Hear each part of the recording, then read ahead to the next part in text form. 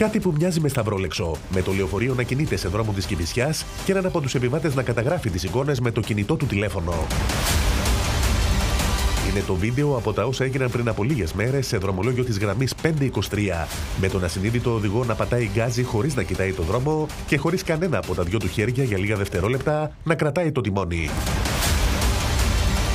Στο πρώτο καρέ φαίνεται κάτι να γράφει. Με το δεξί του χέρι κρατάει το στυλό και με το αριστερό το σταυρόλεξο. Με γυαλιά ηλίου αλλά και πρεσβειοποία για να βλέπει κοντά. Με τους επιβάτες να απορούν και τον ίδιο να συνεχίζει.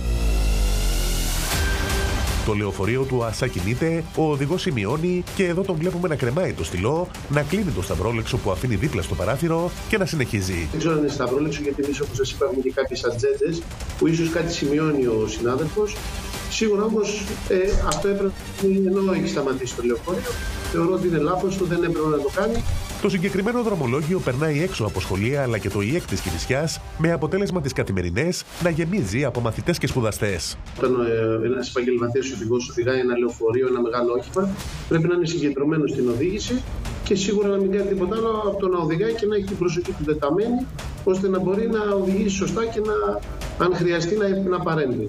Συνάδελφοι του οδηγού δηλώνουν έκπληκτοι και χαρακτηρίζουν πρωτοφανή τα όσα έγιναν στην Κυφυσιά. Όμως αυτές οι εικόνες έρχονται απλά να πλαισιώσουν μια σειρά από άλλες στο πρόσφατο παρελθόν με ανάλογες ανεπίτρεπτες συμπεριφορές. Με το κινητό τηλέφωνο εδώ πάνω στο τιμόνι, με το τσιγάρο οδηγού αναμένο και στο Ρέθυμνο το 2020 ο οδηγό να το έχει τερματίσει με τα πόδια του σταυροπόδιο όπως βλέπουμε.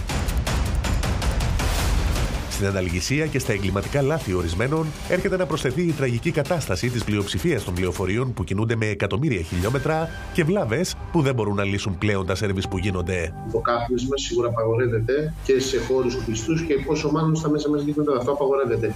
Ε, το γνωρίζουν οι συνάδελφοι και θεωρώ ότι δεν πρέπει να γίνεται.